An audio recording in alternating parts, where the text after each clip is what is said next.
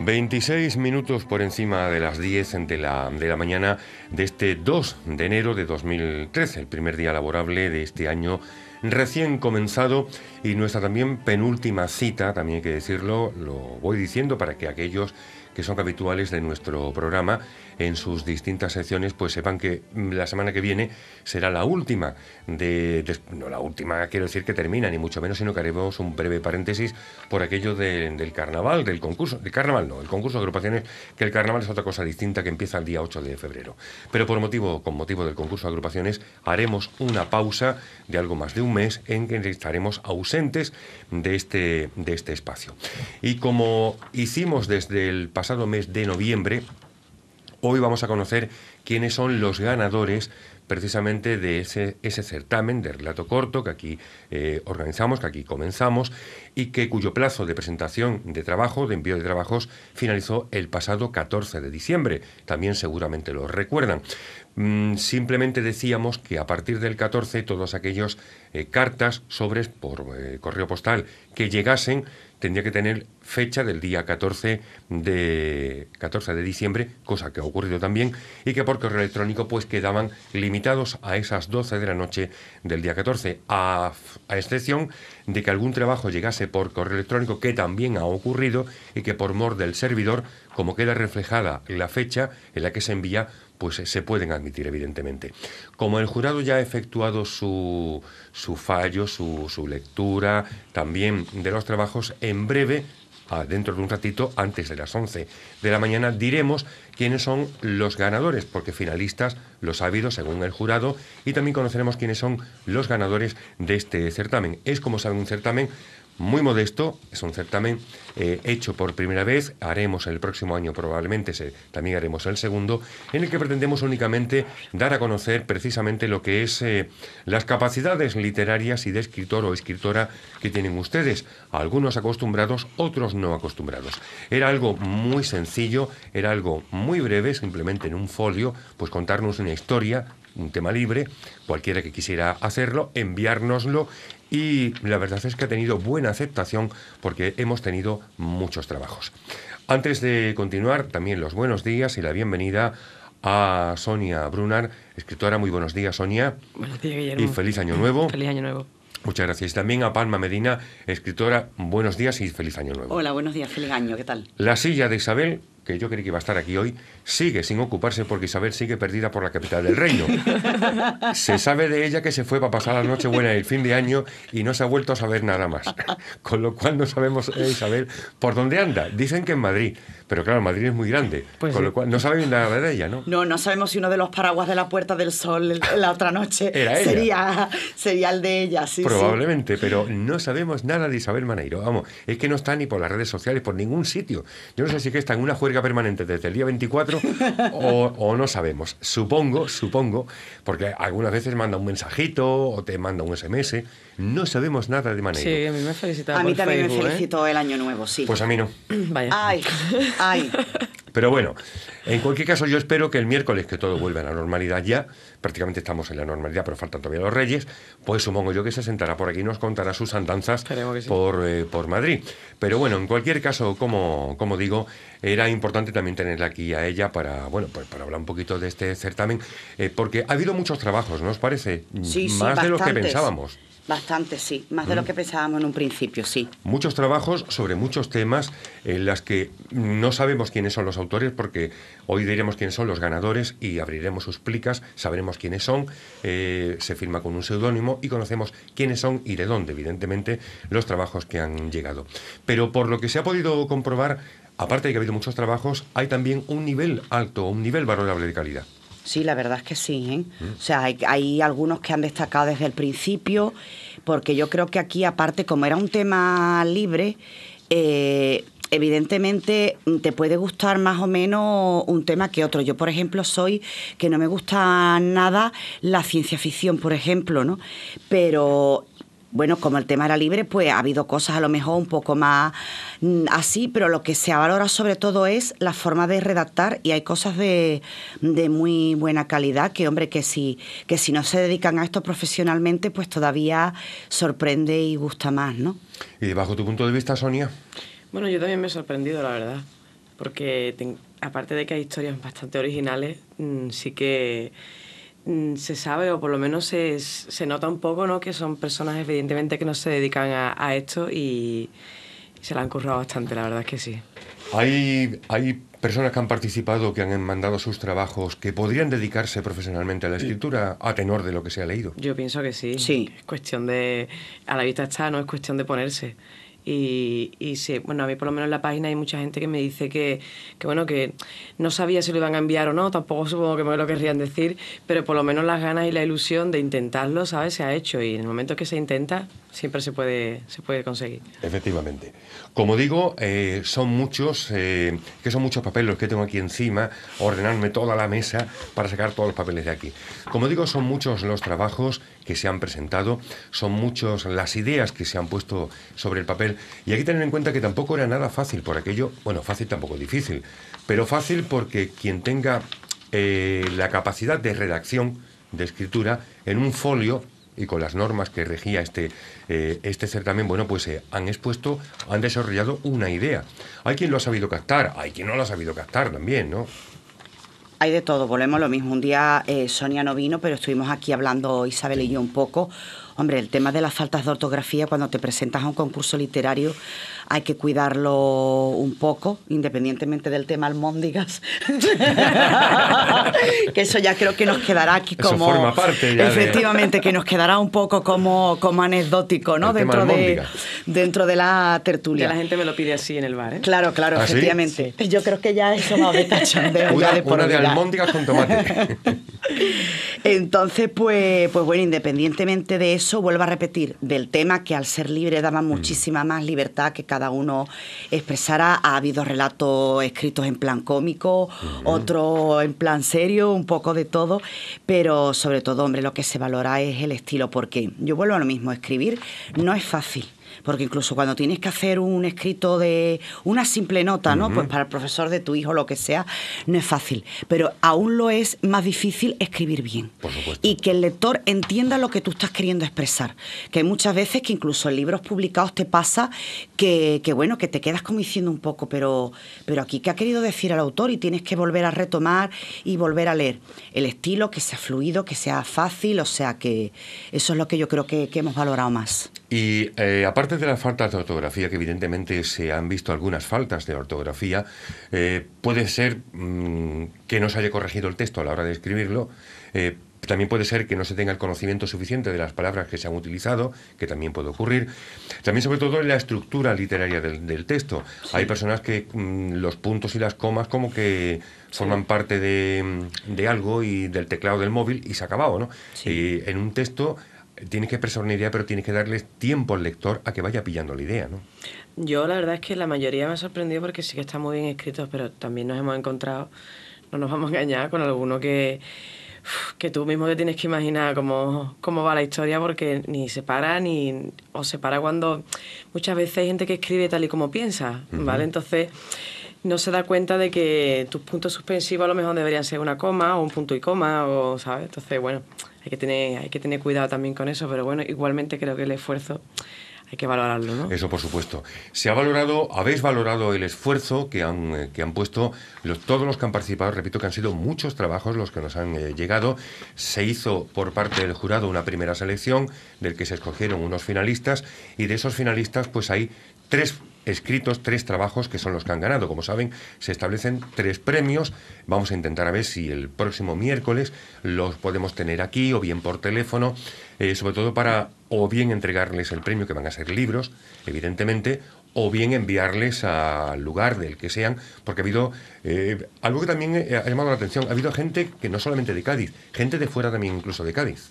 Sí, sí, por lo visto eso me has comentado tú, ¿no? Que que la, vamos, evidentemente, claro, se sabe por el matasellos y tal, claro. y, y, que, exacto, que mira si, si tiene difusión esto, ¿no? Y se, y se escucha tal, hombre, también es verdad que por Facebook lo compartimos claro. nosotras y tal, pero que, que, sí que es cierto que, que sí que te da la alegría de saber que, bueno, que por lo menos tiene esto difusión.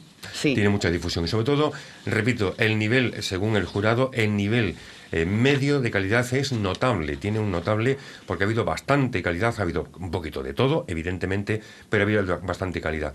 Pero como digo, se hizo de una primera selección de esos trabajos que tenían que tener una nota, una puntuación, por así decirlo, mínima, unos finalistas, está claro también, y luego tres trabajos que son los que han, los que han ganado.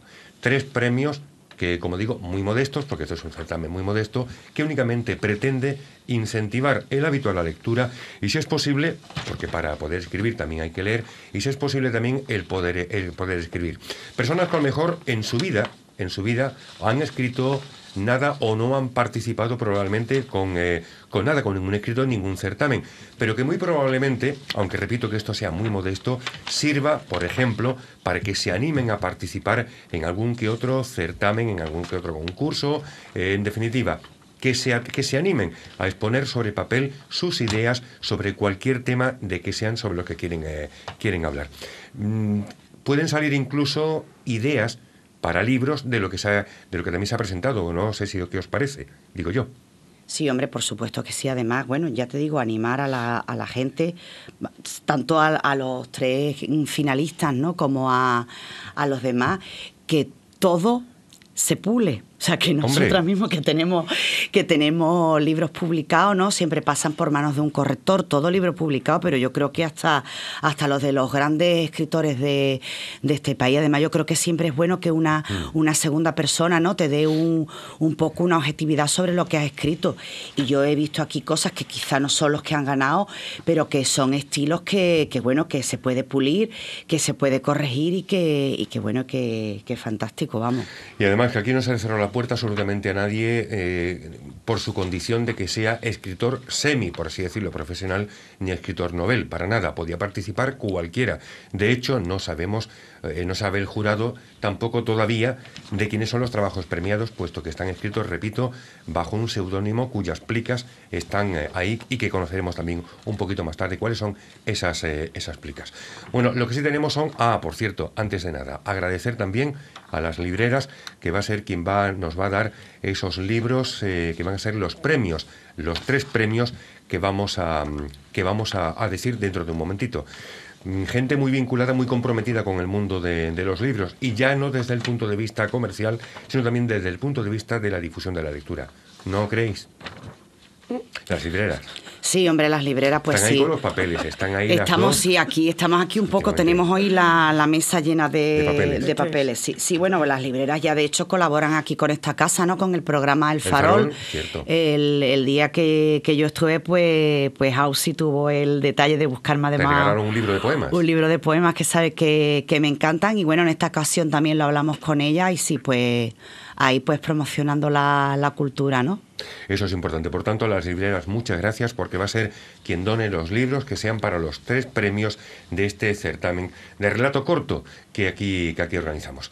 Bueno, pues eh, tenemos ya los, eh, los tres trabajos, ¿o no?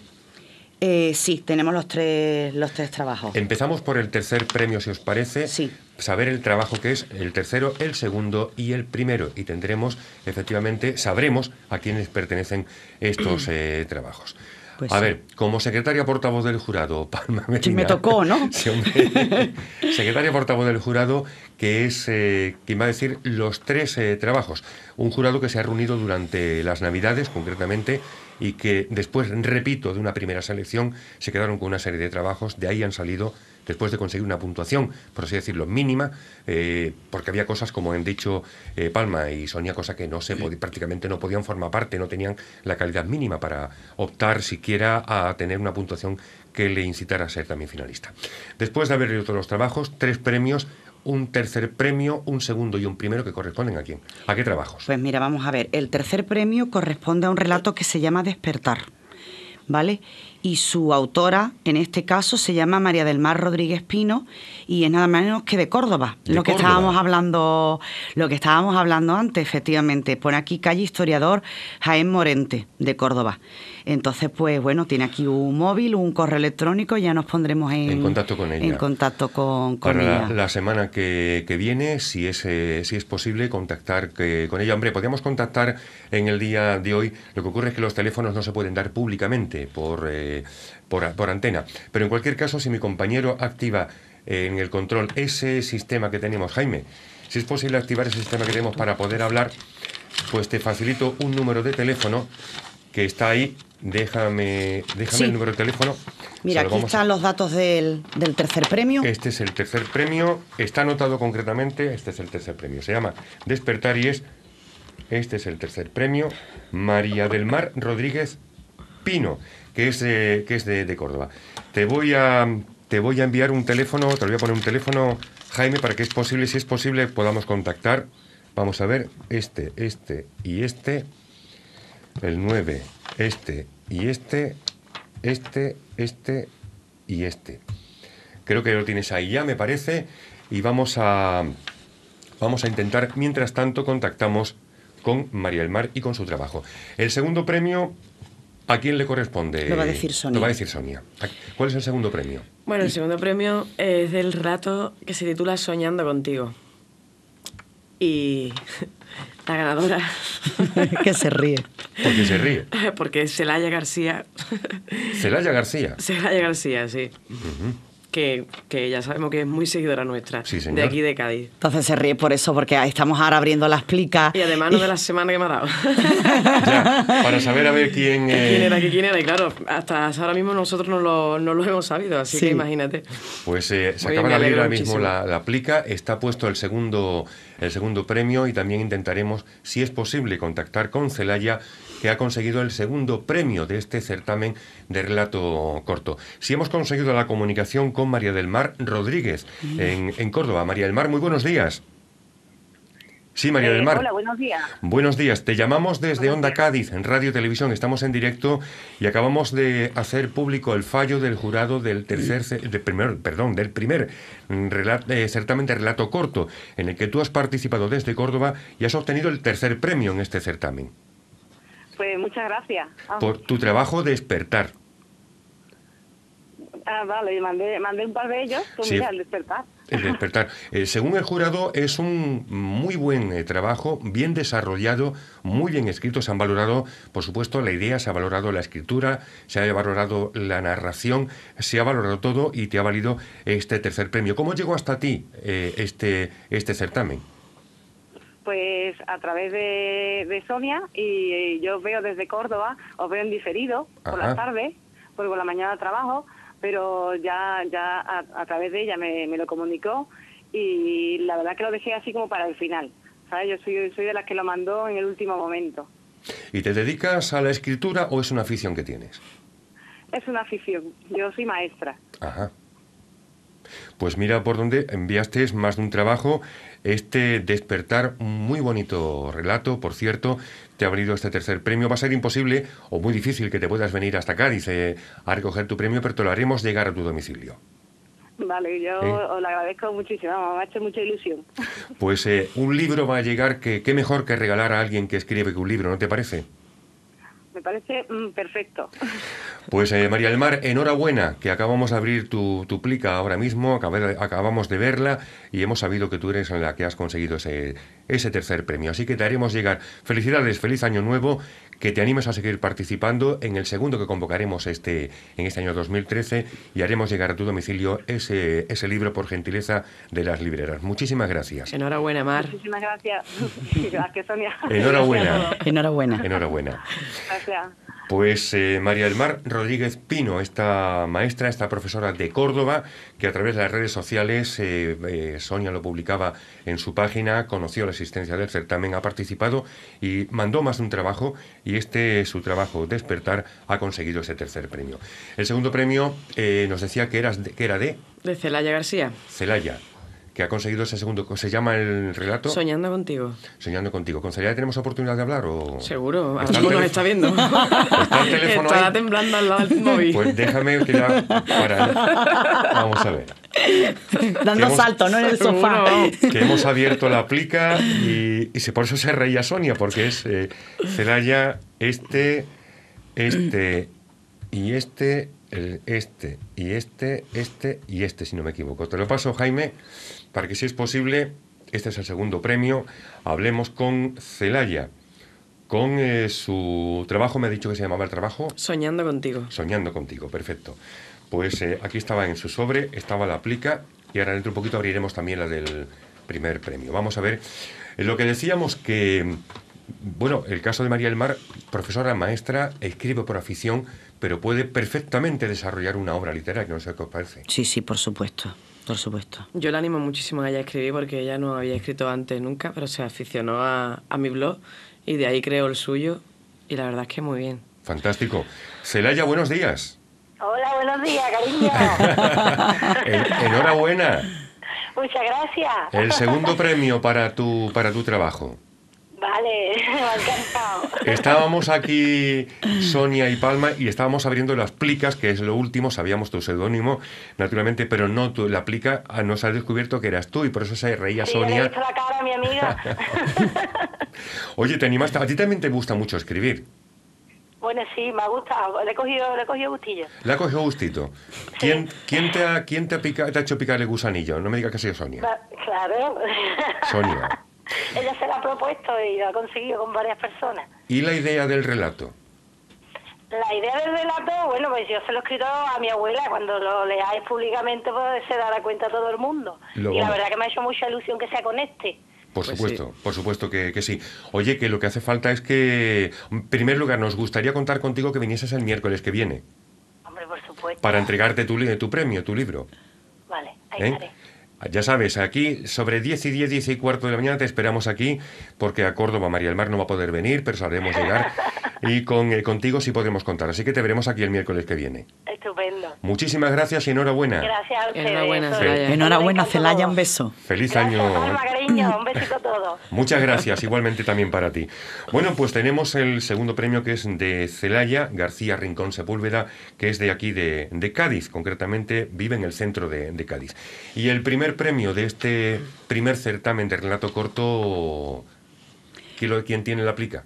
Eh, yo, yo la acabo de, ¿De abrir? de abrir, sí. Es también de Cádiz. Pues bueno, yo creo que este ha sido un relato que todos, yo creo que desde... El jurado, ¿verdad? Sí, yo creo que desde el principio, fíjate qué casualidad que cuando llegaron nos repartimos entre los cuatro y fui precisamente el primero que yo, que yo leí.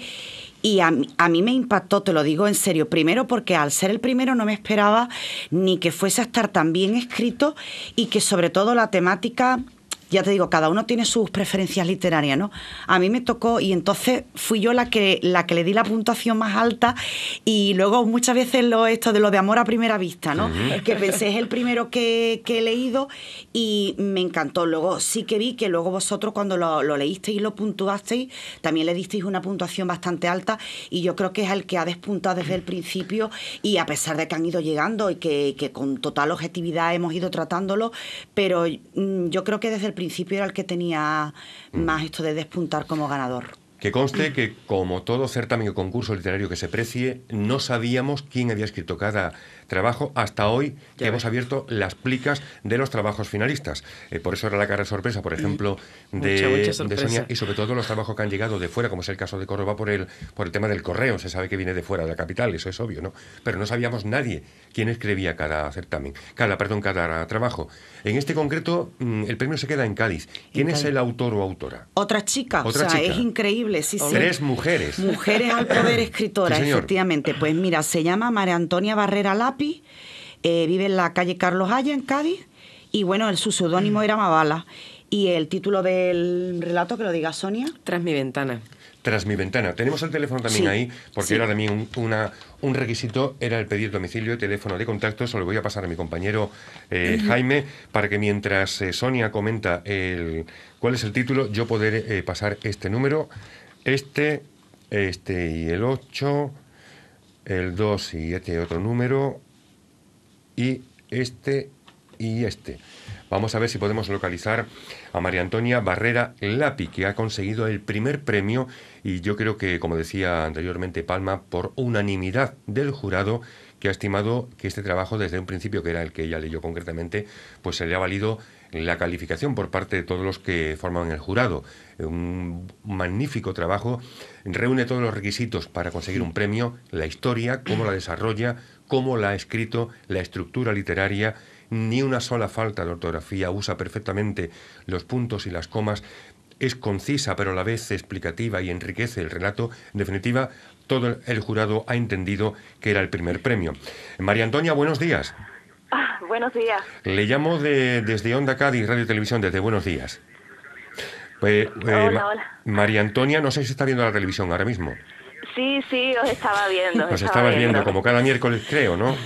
¿Qué va? Es súper complicado porque es que yo trabajo. Vaya. Por las mañanas y hoy es que estoy de vacaciones. Ah, estupendo. Y estoy aquí con mi hija y digo, venga, vamos a verlo, a ver si hay suerte. Y es que no me lo creo, vamos. Pues Mavala es el seudónimo bajo el cual, que lo hemos descubierto al abrir la plica hace un momento, está el relato Tras mi ventana, que ha sido el que ha ganado el primer premio este certamen de relato corto.